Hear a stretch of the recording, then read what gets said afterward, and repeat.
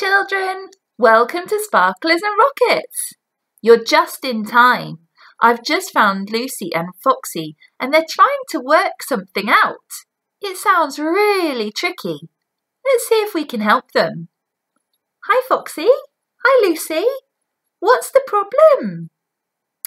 Lucy, your friend has been really mean to you, and you're trying to work out what to do about it. You were listening to the service on Sunday and you heard Tom talk about justice. You know justice is what you need, but you don't know what justice means or how to get it. You just know it has something to do with a hammer. Oh, well, I wonder what justice is. What do you think? Foxy you think that justice means getting your own back. So if somebody whispers about you, you whisper about them. And if somebody hits you, you hit them. You think that's what the hammer is for. Oh no, Foxy, that's not what the hammer is for.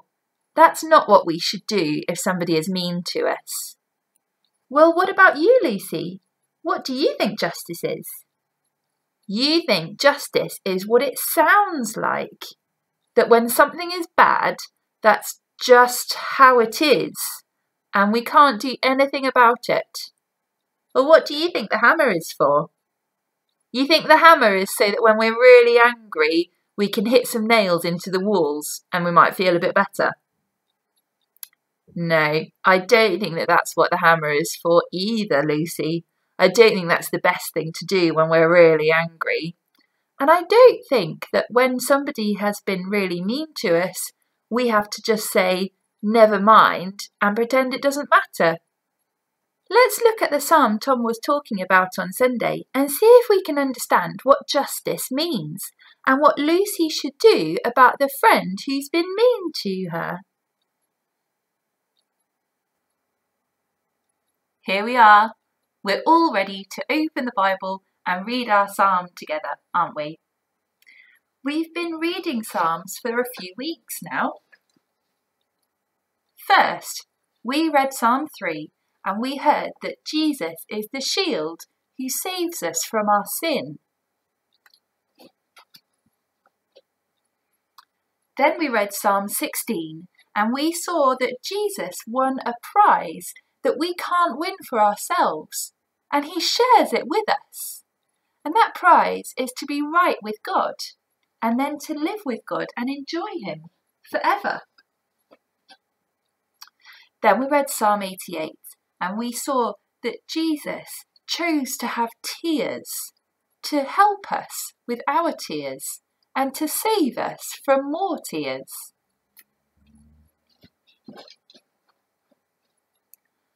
Last week, we read Psalm 126 and we saw that God has helped us when He sent Jesus to free us, and He will help us again and bring us home to Jesus. This week, we're going to read Psalm 109, and we're going to see that God will bring justice and that He saves us from His justice through Jesus. Psalm 109 was written by King David, and he was in trouble when he wrote it. Listen to how he started it. He said, God, I praise you. Do not be silent. Wicked people and liars have spoken against me. They have told lies about me. David had enemies. He had been their friend, but they turned against him for no reason. He was so sad about it, he felt like they were tearing his heart inside him. David was their king. He had gone to battle to help them. He had helped them when they were poor, when they were hungry, and now they were trying to hurt him. They were telling lies about him, and they wouldn't help him when he needed it. Do you know what any of that feels like? Has anyone ever told lies about you? Has anyone not helped you when you needed it? Has anyone wanted to get you into trouble? It's not good, is it? It's bad. What do you do when people do bad things to you? Do you do what Foxy said and try and get your own back on them? Or do you do what Lucy said and try to pretend it doesn't really matter? Listen to what David did. He prayed and he said, Lord my God, help me. Because you are loving, save me. David prayed to God and he told him how bad it was and how much his heart was hurting. And he asked God to punish the people for the terrible things they were doing to him. But he didn't try to punish them himself. Instead, he asked God to be the judge, to listen to both sides and decide which one was right and which one was wrong. That's what a judge does. They listen to both sides and they decide which one has done right and which one has done wrong. When they make their decision, they bang their judge's hammer, and then that's it. There are no more arguments.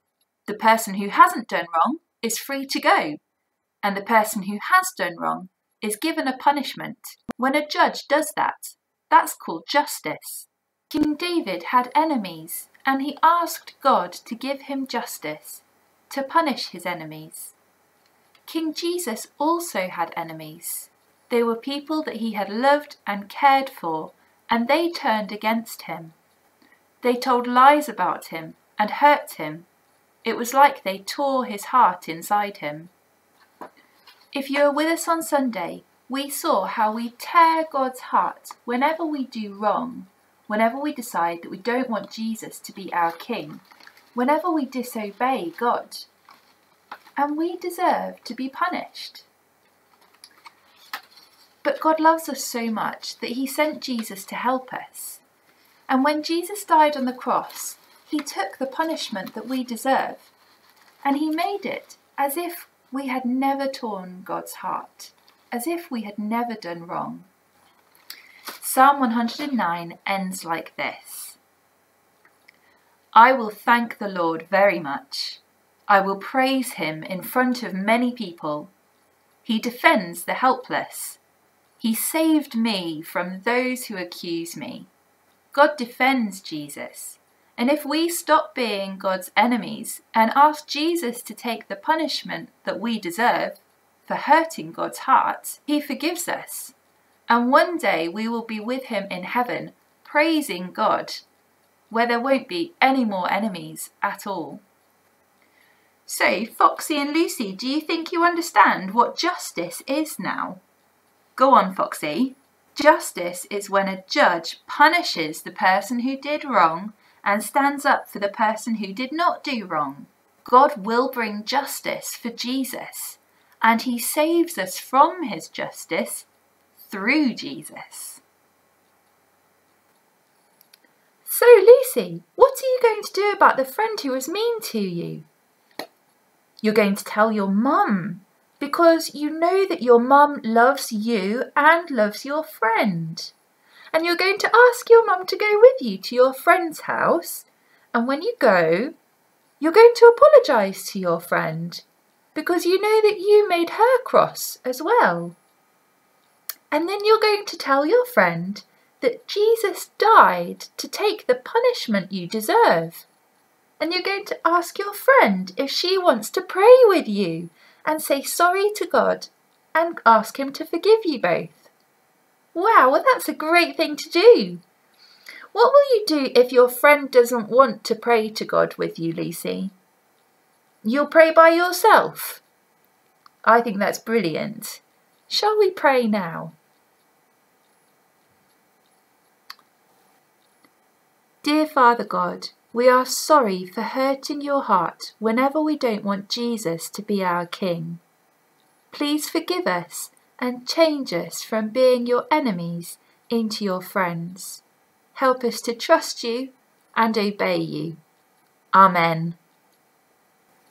Well, children, it's time for us to see some of the crafts you've been making on Sunday. This week, for our craft at church, we were making hearts that were torn to help us understand that we tear God's heart when we don't want Jesus to be our King, and that Jesus died to take the punishment that we deserve. Let's have a look at some of those crafts now. And remember, if you don't get the crafts, you can ask your parents to send me a message and I'll send them to you. Enjoy seeing these from Oscar and Sammy.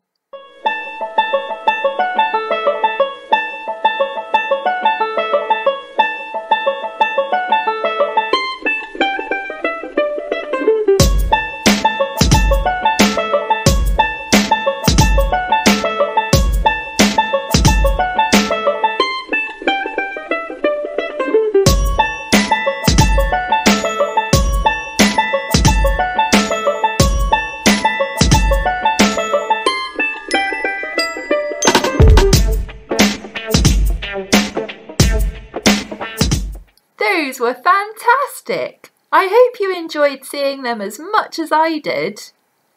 Well, do you know what time it is? It's time for us to learn our memory verse.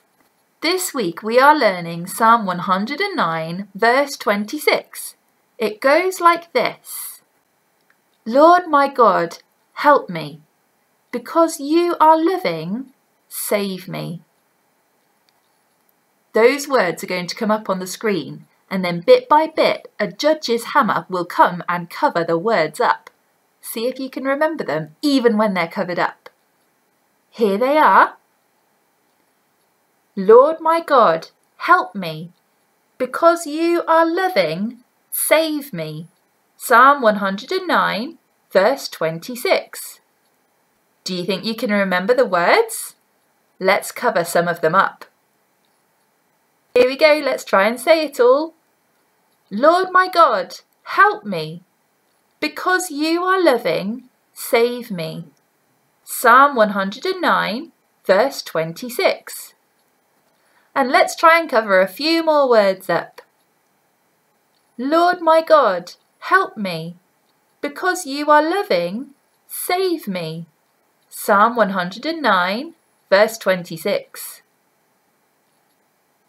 I'm going to cover all of the words up now. Let's see if we can remember them together. Lord my God, help me. Because you are loving, save me. Psalm 109, verse 26. Well done, kids. Could you remember all of the words? It's nearly time for Sparklers and Rockets to end. But before we go, don't forget about this week's challenge for our week in pictures.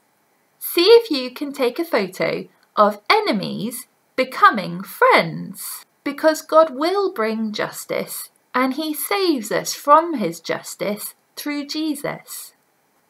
Click the link below for a new song that we're going to learn on Sunday. It's called Brick by Brick and it's got some actions. See if you can learn them and then you can join in on Sunday. Well, it's time to say goodbye. So it's goodbye from me, and goodbye from Foxy, and goodbye from Lucy. Bye!